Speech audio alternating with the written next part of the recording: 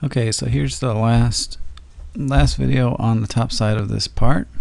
Just gonna tap those, uh, was it 12 holes I think.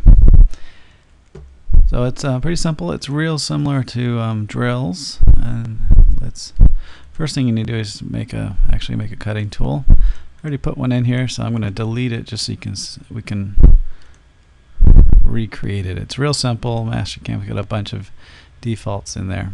So right hand tap, select that. This really bizarre picture of looks like something went wrong with that tap. Say OK, and then you got all your standard taps in here. There's a quarter 20, and double click on it, and just to make sure, we look here, and we got a quarter 20, and it is not a redundant tool number.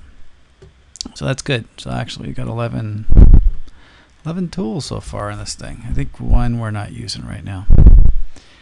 Okay, so it's just like drilling. In fact, it's so much like drilling, we're going to use drilling. So I the toolpath drilling, now just like we did before, and I select entities, and now I'm gonna, I'm gonna try to, I'm gonna zoom in. I'm gonna try. I'm going to zoom in, so I can see these entities clearly. I've had selection problems before because I haven't taken my time. There's two, three, four, five, six. Seven, eight, nine, ten, eleven, twelve. Okay, so those are all our um, tapped holes. Okay, so now we got a drill. I told you before we have a drill. We really have a drill cycle here. Tool, we're going to pick a tap. Now that's going to know a little bit about um, that we're doing a tapping operation, but it doesn't know as much as you might imagine. It doesn't know that we're rigid tapping because uh, it doesn't know if our machine does it. It doesn't know if we even want a rigid tap. Maybe we have one of those compression holders. So when we go to cutting parameters, everything looks great, and I would think that we're good, except we're not, because that will not rigid tap. That will not use a G84.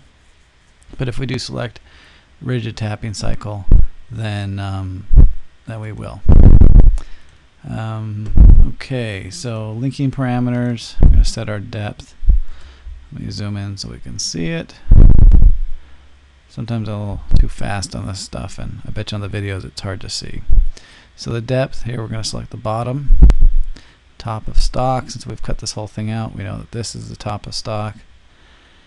And tip comp, definitely want tip comp, so I think this is left over from the boring. So let's, uh, I'm going to estimate that it's a 90 degree tip angle. I don't actually know that. And then we're going to, I'm going to say a eighth inch breakthrough. You're really gonna have to go measure it um, on your tap or get it from your your vendor to understand um, how much uh, taper you're gonna have on that on that uh, tap. It's gonna be different for every kind of tap. And then um, planes are planes are still okay. Turn the coolant on. Now in aluminum you're probably okay, but uh, you, sometimes you want to have different different coolant when you're tapping. Uh, tapping and cutting sometimes uh, you need moly lube or um, high sulfur oil. It depends on the material, depends on the tap. A lot of times you can get away with uh, things pretty easily in aluminum, even 7075. So you can see looks just like a tap.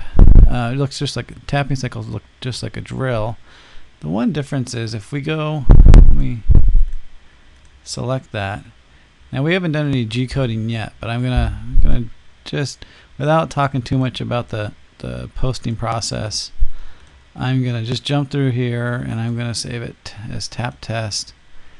And I want to just show you that indeed we are on the right track because we've got this G84 cycle and then you see point, point, point, point, point, point, a bunch of points. So it's it's in a cycle and then it turns it off here. So that's that's good. Um, considering that we just went into a drill routine and had a choice between tap and rigid tap and Mastercam doesn't exactly beat you over the head with a lot of details there. It's nice to be able to just go in here in the G code and see that we did call a G84 and um, then called a bunch of points and did not do a bunch of rapids and other um, complicated moves. Uh, these tap cycles are supposed to be simple. So there we go. That's the that's the whole thing. That's uh, tops is done. Uh, I guess uh, I'm gonna probably not do a, a video for a little bit so you can catch up and then um, next thing we're going to do is probably flip this thing over and start thinking about what that um, uh, start thinking about what the the fixture is going to look like to hold it upside down. Okay.